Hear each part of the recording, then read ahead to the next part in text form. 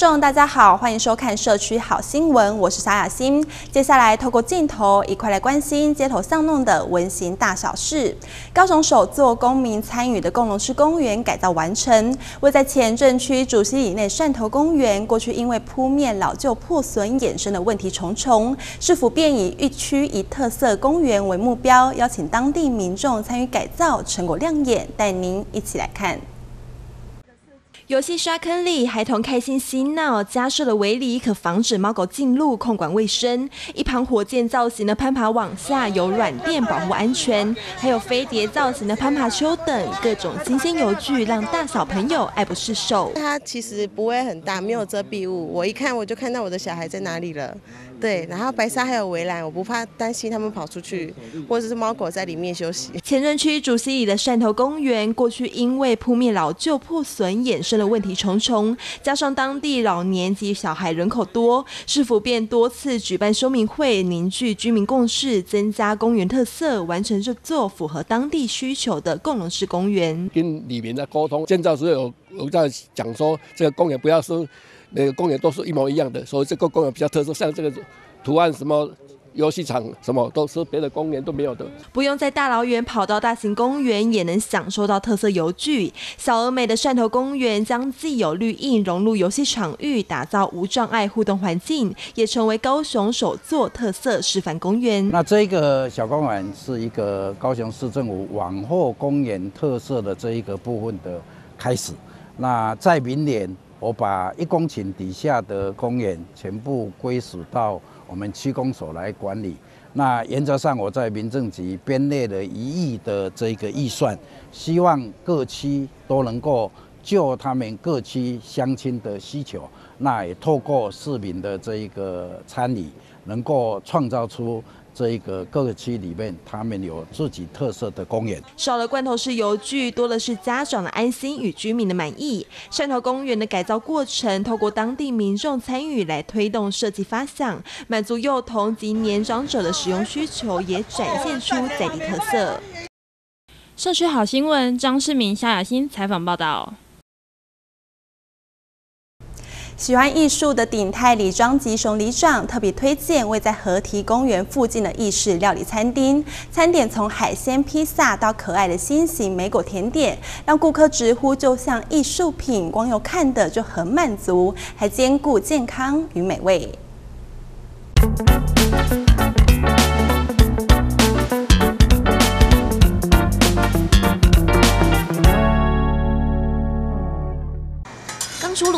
片培根贝壳面，淋上热腾腾的 cheese 白酱，香浓 cheese 味瞬间飘散开来，让人食欲大开。这可是店家创意料理，运用两种 cheese，吃起来香浓不腻，还有一种特殊的清爽口感。啊，上面的贝贝酱是也是有两种两种不同风味的 cheese 下去调和的，然后淋在上面，所以它的呃层次感其实是很丰富的。所以不同于外面的那一种白酱的风味，第一个是比较清爽，第二个是比较健康。喜欢艺术的鼎泰里里长张吉雄一进到店里就对温暖木质调的装潢赞不绝口。餐点从海鲜披萨到可爱的新型莓果甜点，植物好像艺术品，光用看的就很满足。这个皮的变化很多哈，你看这个皮跟那个皮跟那个皮都不一样，它那个有一个心形的那种感觉是非常有艺术。呃，有艺术的要吃，我觉得不舍不得吃啊，所以非常好，非常好。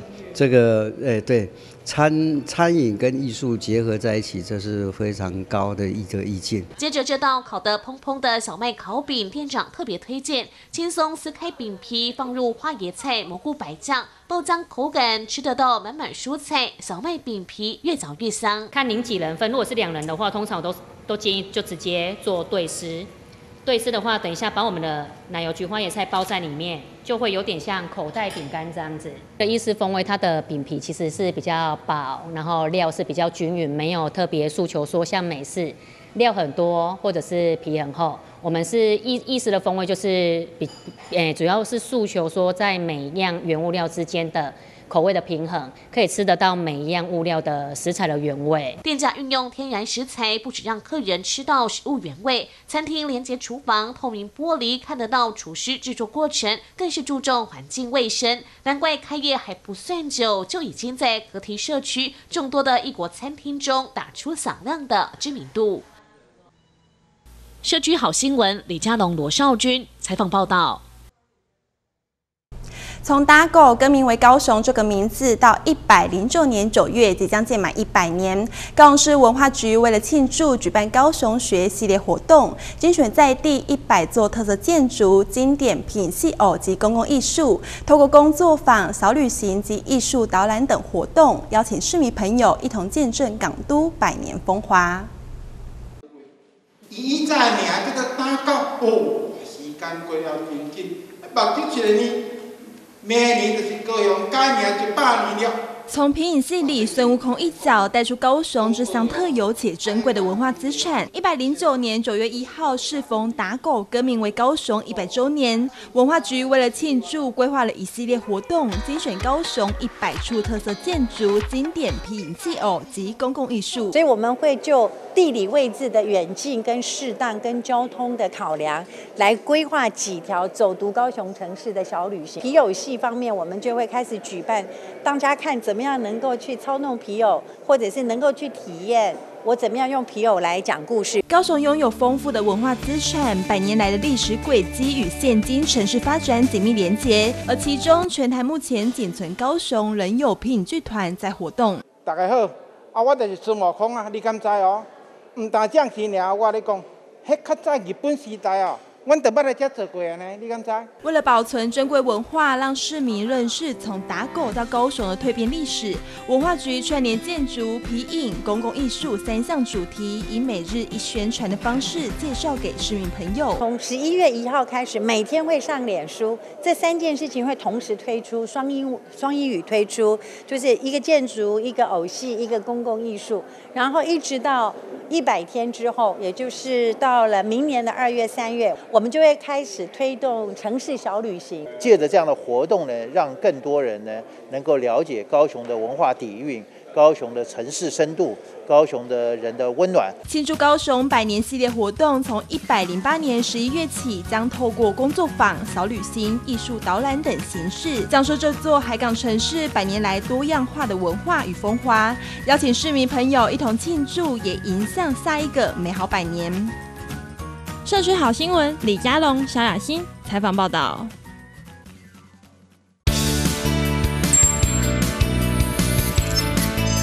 社区里的温馨故事、励志人物、区里花絮、社区营造，所有社区里的大小事，都在社区好新闻。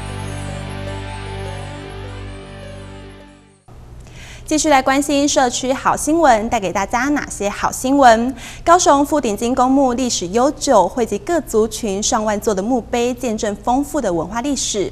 而后为了都市发展而迁移，曾参与当时保存文史行动的曾米泰老师，便将抢救下的十几座墓碑摆放在海清工商校史室陈列，并延伸成生命教育课程，成为全台唯一的墓碑教室。围绕着十字架，跨越不同时代、族群、造型、材质的墓碑汇集在同一个空间下。这间全台唯一的墓碑教室，保存十几座当时富鼎金公墓迁移前抢救下的活历史。那当初是因为富鼎金的地方要迁葬，那在这个迁葬的过程呢，其实我跟几个朋友，他们我们都发现说，这些墓碑有很多是非常具有文化保存价值的，但是后来在正式的文字程序里面，他们都没有被。被被纳入，哎，那我那时候就问学校说，我们有没有机会把这些墓碑先保留下来？让他有一个先留下来的机会，这样子，那学校就给了我这个空间。高雄富鼎金公墓历史悠久，占地广达四十五公顷，除了台式坟墓，还有天主教、回教、外国人等，汇集各族群成千上万座的墓碑。而后为了都市发展而迁移，参与当时保存行动的曾敏泰老师，便与殡葬处协调，将抢救下的墓碑摆放校史室陈列，并延伸出生命教育课程。我们传统认为墓碑就是肮脏，就是污秽。我希望能够打破这种观念，他实际上去认识墓碑，去读懂一个墓碑，那到学期末，他可以透过这个课的关系，他实际去找他自己家族的墓葬。哎，那甚至去写出他自己的家族史，花了不少心力进行每座墓碑的考究。曾明泰老师更曾遇过后代子孙寻机前来找寻祖先的故事。一个老阿公，他就从网络上查到资料，他去殡葬管理处问，然后后来又辗转跑了好多地方，最后都无机，都是都没有找到。他原本都要放弃了，他最后一最后一站就到了海清。实际上，从他的背包里面拿出他们家日治时期的户籍藤本，证明说好他的名字在哪，那他的阿公又是谁？他的阿祖这样一直推推推，然后往上推这样子。哦，原来他真的是陈进纯的曾孙呐！全国唯一的墓碑展示馆就暂存在海清工商，跨越逾百年的故事，拼凑出历史的足迹，更成为生命教育最好的教材。社区好新闻，张世明、夏雅欣采访报道。绿美化校园环境，左营区文府国校再度邀请慈心有机农业基金会带领小朋友种下一百棵台湾原生种树苗。不少小朋友第一次种树，直呼相当不简单。虽然辛苦，但很有成就感。而未来也将由班级认养照顾这些小花小树。在职工的协助下，小学生开心用铁铲种下一棵棵小树苗，期待每天悉心灌溉照顾，绿美化校园，也帮忙净化空气。树就像天然的空气净新器，因为可以帮我们做二氧，把二氧化碳吸进去，做光合作用，转化成我们需要的氧气。每天都来看它，如果有什么事。如果有需要施肥，就要去。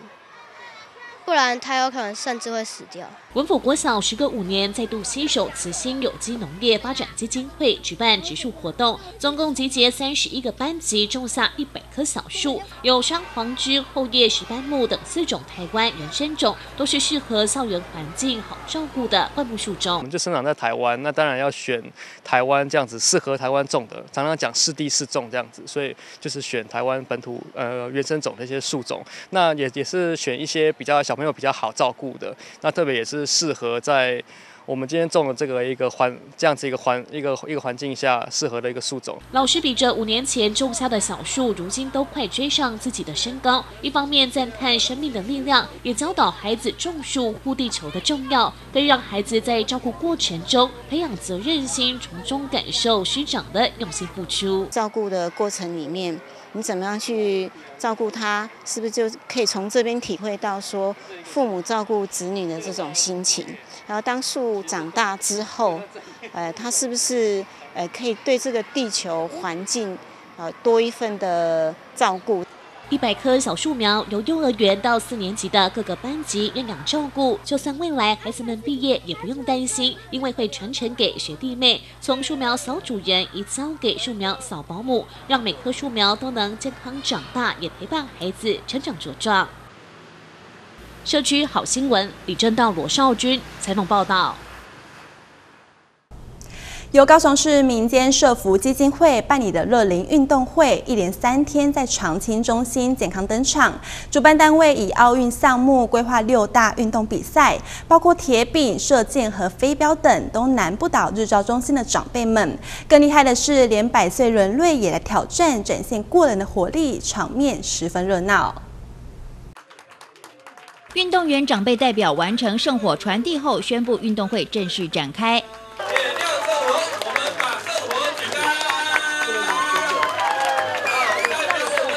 来自社区日照中心的长辈们，为了参加这场运动赛事，已经连续三个月练习暖身，希望在这场运动会中展现成果。陪伴的家属也感受到长辈的投入和期待。这位高龄一百零四岁的郑金爷爷，虽然坐着轮椅，但是只要上场，一定坚持站起来比赛一二三。开心啊，因为他年纪真的蛮大了，然后还他还他还很开，他还很愿意，很高兴，然后还很兴奋。我早上跟他讲说要来比赛，他就很他就精神开始来了。本来在那边睡觉了，然后就讲说今天要比赛，参加比赛，然后他精神就来了。蛮开心的，而且越来越珍惜这个这个机会。今天的场子里面，其实就是社区师啦，还有机构师的长辈，其实是一起互动交流的。那我们很高兴，今年家属参加的非常的踊跃。其实以往可能你会看到的是父子、父女，今年连兄妹组啊，或者是。子孙三代的都已经来报名参加了，所以我们记得很高很高兴有这样的状况。以奥运项目规划的乐龄运动会，今年已经是第五年举办。这次共有六大项目，包括射箭、飞镖、足球、铅球和铁饼及举重等。希望透过活动鼓励长辈在家人的陪伴下，强化身体不同部位所需要的肌耐力，维持身体健康。大家也可以得到一些成就感，这样子。对，就是可能，例如说，他没办法像一般人这样完成，然后透过协助他，然后就可以让他得到一些成就。因为我看他说，今天的状况会比练习的那天好很多，这样子。因为我们其实从第一届开始到现在第五届，其实我们中间有做了一些讨论。因为其实比都比赛项目大概你就会知道，大概偏上肢运动跟下肢运动，那会针对长辈，他其实即便他可能啊某些项目他可能力气不是那么足的，可是他可以比准度。对他其实有一些他可以有成就感发挥的地方。那平常其实他们就融在他们平常的活动练习当中。那我觉得这也可以激发他们活动参与的一个意愿。这场由高雄市郭吴丽珠社会福利慈善基金会举办的日照运动会，邀请包括机构式照顾及社区关怀据点的长辈共襄盛举，现场加油声不断，也让外界看见引发长辈充满乐活健康的一面。社区好新闻，李正道、黄兰君采访报道。用创意设计带动商圈买气，后羿商圈的雨伞节已经打响名号，而今年还将改造两座雨伞景观墙，希望更凸显成衣批发商圈的特色，也欢迎民众多来逛逛。五颜六色的雨伞挂在后羿商圈的街道上空，从街头延伸到街尾，非常壮观好看。另外一头，工人们还在持续的挂伞，还没有全部完成，就有不少民众闻风赶来拍照打卡。就是因为他这个雨伞吸引到我们了，我们才会才会来这边。觉得还蛮特别的啊！很很多网美他们都会在布洛克还是 FB 上面都会宣导一些这边的雨伞的漂亮的风景啊。后羿商圈的雨伞节已经举办六年，从十月雨季过后，街区上就会挂上七彩缤纷的雨伞。仔细看，还有几面彩绘雨伞是小朋友的涂鸦作品。今年雨伞的数量多达两千多只，布满街区，将形成应景的双十字形。在今年有在两个路口有多增。增设很多的一些雨伞，那呃形成一个双十字的概念，呃也来响应说今年的呃双十国庆，还有吸引我们更多的人潮来到我们的商圈。除了后裔商圈的散街让人印象深刻之外，今年商圈理事长还和实践大学时尚设计系合作，打造两座雨伞景观墙，目前还在赶工制作当中，希望完成之后能再度让大家惊艳。这一次他们的呃双十。廉价，他们都是没有休息，在戏里面帮我们去彩绘这一些伞。那最主要这一些伞，是一些我们关关于我们商商圈创意的一些彩绘的的意象，呃，让这些意象能更展现我们。呃，商圈的设计感受到铁路地下化后的改造工程影响，后裔商圈仍以设计创意推出新的装置艺术，吸引大家的目光。希望在电商夹击之下，持续为商圈创造人气和买气。Umbrella 很漂亮，来逛街买衣服。社区好新闻，张世明、赖昌邦采访报道。南子区中和里新任里长李东玉年仅二十八岁，就有颗热情服务的心。由于中和里近年来人口大幅成长，从过去的一千多人到现在有四五千人，因此花了三个月的时间成立巡守队，积极的行动力获得起了肯定。而里长也期待有更多年轻人能加入巡守队的行列。阿贝迫不及待穿上中和里里长李东宇刚拿到的反光背心，直呼好开心，因为巡守队历经三个月时间筹备，终于向警察局申请成立获准。里长这甲提起，我就讲好啊，我参加，因为这真好啊。警察局在这个部分可能是人数越多，相对的对他们也是越好，对我们的团队也是越好，因为在排班的部分可以再让他们不用在每一天都巡逻到。那也可以说，嗯，久久出来走一次，巡逻一下，他们比较不会那么累，因为毕竟他们都是那个年龄层比较高的年长的。长辈临近园中港的中和里，从前随处可见农田和渔温。经过合并开发后，人口近年来激增至四五千人。年轻里长李东宇上任后，实现承诺，不畏困难成立巡守队，要守护社区安全。七八年前的时候，大概有大概六百多户，七百户。那现在已已经有一千九百多户了，快接接近两千户，每个月成长人数大概都快一百人左右。即卖人口较侪，啊也较复杂，有当啊对治安方面，咱也有对治安方面也有较有帮助。不到三十岁的李东宇，秀气腼腆模样，尽管和里长身份有点违和感，做起事来认真负责任的态度，可是获得耆老一致赞赏。你若随讲，一定做较够，那有法度通啊。咱里长做会到的范围内，伊会尽量做，伊袂去甲伊提示。吼，啊，咱里来，咱着逐个着共同来甲鼓励，吼，这少年搁再较拍拼。看着照片，怀念父亲。原来几年前一场意外带走李东宇的父亲，也是中和里前里长。如今扛下重任，更能体认父亲的辛苦。我也把他视为我的超级偶像。对，那可能就是。想要追逐他的脚步，跟他一模一样，然后服务黎民，让大家得一个好的名声，这样。把爸爸视为超级偶像李东宇，不负众望，承袭复制，一面勤勉自己超越父亲，一面带领中和里走向幸福宜居的新社区。社区好新闻，李佳龙、罗少军采访报道。高雄市约有八万名来自东南亚的新住民及移工，而高雄火车站每到假日就会吸引这些外籍移工聚集。为此，新兴区公所举办南国商圈社区日，用嘉年华会的方式将东南亚美食及文化介绍给市民朋友，也让新住民和移工更融入台湾社会。这个是中香菇做的，印尼说白叶。平时少见的零嘴，可是印尼当地的庶民小吃。走一片南国商圈社区日的摊位，可以看到许多东南亚的特色美食。从越南、泰国到新住民移工人数最多的印尼，可以说是让人看到目不暇接。高雄市区里，来自东南亚的新住民及移工人数越来越多。其中，在高雄火车站附近，有许多东南亚餐馆、杂货店及小吃摊。俨然形成一个南国商圈。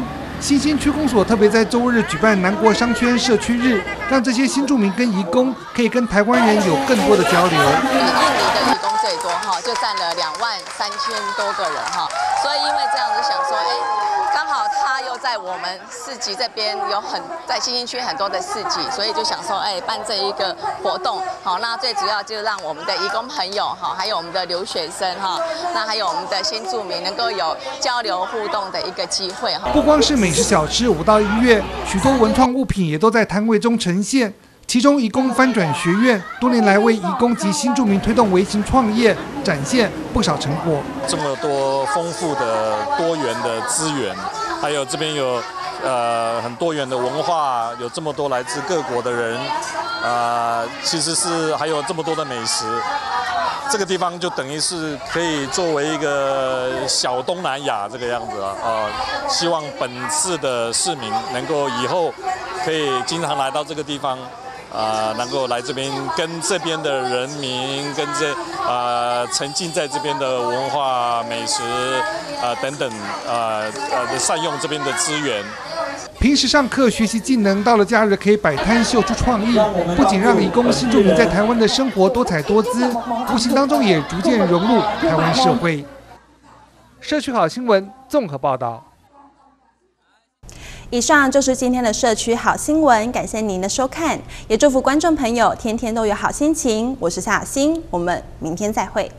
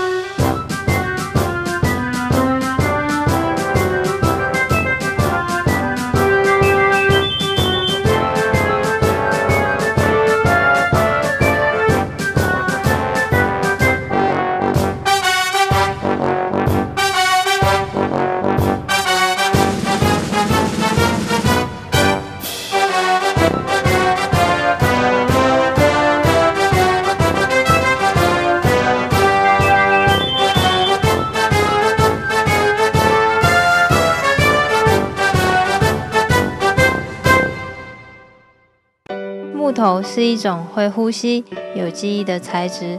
我们在老屋拆除下来的木料中，寻找属于记忆的独特纹理，透过年轻的双手，连接起过去与现在的心。看见在地人的心，千年港都有线电视与您一起用心。最高啊，那亲像伫咧过生活，简简单单，一点嘛袂复杂。不过，那是有用心，共款嘛会做出让人感动的好滋味。看见在地人的心，千年港都有线电视与您一起用心。自从接下爸爸的牧场，我不断尝试各种方法，让更多人接受羊奶。我相信，只要坚持，一定可以让大家都敢尝试这最在地的好滋味。看见在地人的心，千年港都有线电视与您一起用心。要将一块平凡的茶壳刻出一色红啊，就必须爱用心看、细意做，每一个动作拢袂当颠打，才会当做出有灵魂的作品。这就是阮用心的态度。看见在地人的心，千年港都有线电视与您一起用心。